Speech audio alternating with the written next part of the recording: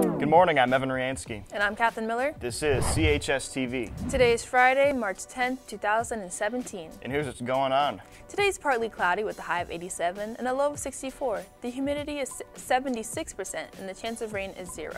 Today's games are as follows. Baseball, we are playing Vero Beach. Vero Beach is hosting. It's a varsity game that starts at 7. Also, baseball, the JV team will be playing this Saturday, March 11th at Jensen Beach High School. The games are at 10 and noon. Track will be competing in the Burger King Invitational at Glade Central High School on March 16th at 3:30 p.m. And attention Centennial blood donors, there are only a handful of days left to make your appointment for our, their next blood drive. The drive is Wednesday, March 22nd, which is a day one. If you are 16 year older and want to donate, please listen to this announcement. There are a couple ways to sign up. Watch for Sean for the Blood Bank along with RTC and HOSA leaders at lunchtime. Or please look for a HOSA member or visit Miss Durkee in H104 or Ms. Higgins in H103 to pick up a permission slip.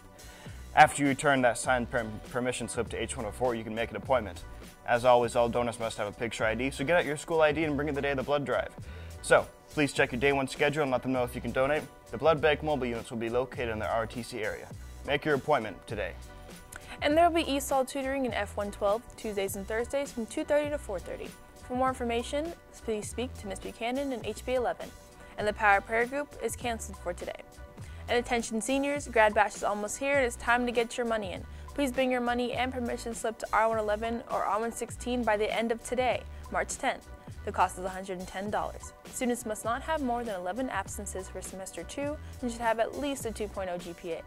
Did you know about an iPhone game called Send Me to Heaven that involves throwing your phone as high as possible into the air and then catching it?